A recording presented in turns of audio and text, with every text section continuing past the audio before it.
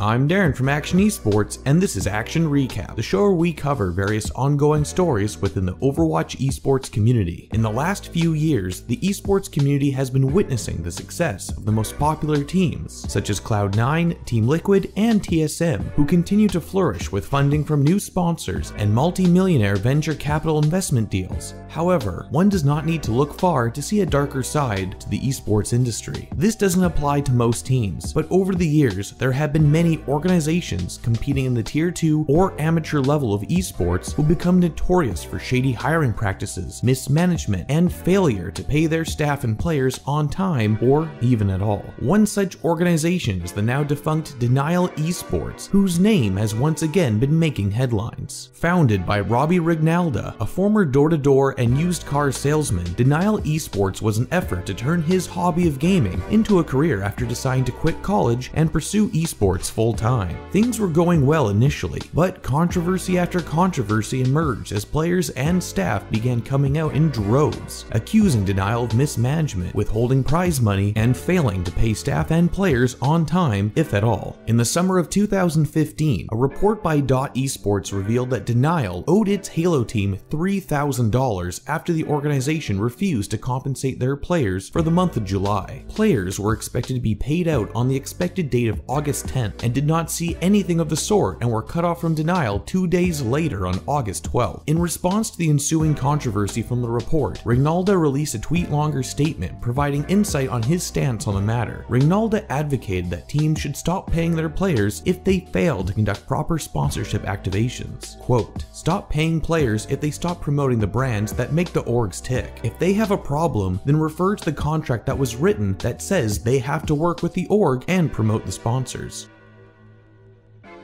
Fast forward to the fourth quarter of 2017, we saw many members of the Denial esports staff leaving the organization amid growing frustration surrounding Denial's alleged inability to pay their players and staff. In a farewell TwitLonger post, Nicholas Karma Primus Haley, Denial's head of media, wrote, quote, I have decided to leave Denial as the head of media following the revelation of a considerable amount of money that is still owed by management to many of Denial's teams, players, and staff. This revelation is unfortunate as as I have really enjoyed working with my colleagues at Denial, but simply cannot continue under its current management. According to Slingshot, citing Karma and multiple other sources close to the organization, Denial had allegedly failed to pay their players for its H1Z1 and Counter-Strike teams in addition to not paying staff. Former Denial H1Z1 team member Pinekipples alleges that Denial owes the H1Z1 team $22,700 in outstanding salary and prize winnings from the Fight for the Crown tournament. Karma told Slingshot the winnings were sent to the organization directly and have still not been given to the players more than three months after the event took place. Karma and another source reportedly said Ringnalda did not pay staff members and instead offered previous general manager Alex Gonzalez equity in the company.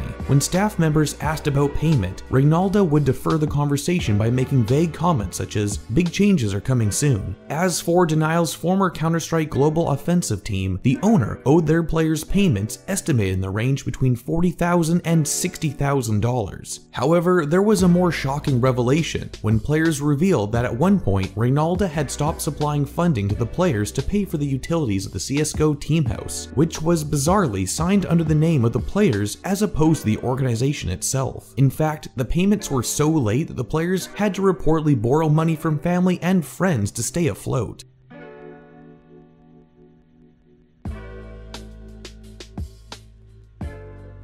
Ringnalda has since long fled from the esports industry to start another business venture involving dog biscuits made out of craft beer, and hasn't taken to social media since October 4th when he tweeted that he and his esports organization were working on some issues. And this is where the story had ended, with all communication being cut off, leaving it uncertain if the players would ever be compensated. And now, one set of players that had chosen to remain silent on these matters until earlier this month were members of the Denial Overwatch team, whose plights went unheard unheard during the height of the controversy. But now, it seems that legal action is going to take place. On September 6, 2018, esports law firms Morrison Lee and ESG Law made a joint announcement stating that they are now standing united to hold Denial Esports CEO accountable for player exploitation. In light of this push to seek justice, former Denial Overwatch players such as XQC and Danteh have broken the silence, speaking out on their time with the organization. Danteh told VP Esports, quote, I was on the team for about three months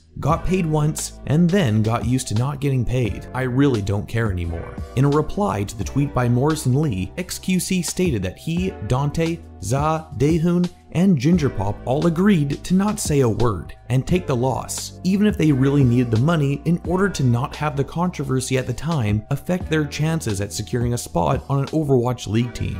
The two law firms wrote in their post, quote, Morrison Lee and ESG Law are normally on opposite sides of the table. Today, we stand shoulder to shoulder. Player mistreatment is an unacceptable part of this industry, and we are committed to eradicating such behavior wherever possible. Ringnalda has now shut down Denial Esports and seems to have moved on from the esports industry. We're quite sure from his responses to us, thus far or lack thereof, that he is confident that his misconduct will be forgotten and not affect his future business interests interests. For now, that's all we have on this story, but we will be sure to revisit it following any further developments. With the Overwatch League seeking to ensure that there is definite contracts in place to pay for player salaries, what other measures do you think need to be put in place to ensure that no more players are exploited like the Denial Esports matter?